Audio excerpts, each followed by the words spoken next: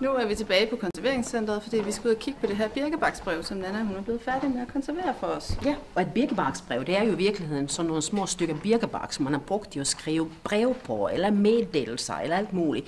Det er ikke noget, vi kender særlig godt her i Danmark. Øh, men øh, man kender det faktisk godt i de østlige lande, som mm. i Rusland og, og nok også Polen og sådan noget sted. Det kræver bare rigtig meget fugt.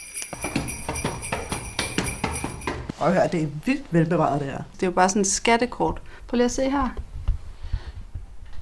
Vi har jo, hvordan det kommer fra Volin i Jomsborg i Polen, og så rejser de sammen med, det må være Blåtand med kongen, det her syv små nisser, som også bliver fortalt i myten.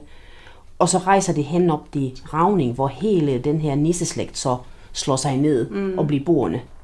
Helt utroligt. Vi fandt jo også det her runebrev, øh, hvor der stod noget om Volin og Jomsborg.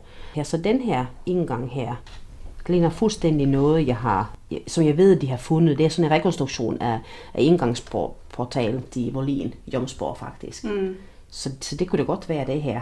Det kunne det. Ikke også? Og det passer jo også meget ja. godt sammen med, at vi i virkeligheden lige har fundet ud af, at nissen, som vi har udstillet, den sådan set er vokset op i Polen. Men hvad så? Prøv lige at se den der. Det ligner jo også det, som vi fandt i bæret. Ja. Ja. ja. Det må virkelig være det end, endegyldige bevis på, at, Ja, det er det. at det hele det hænger sammen. Det her det er simpelthen fra vores øh, brunnisser. Det er lige det, vi har lært, Ja. vi har.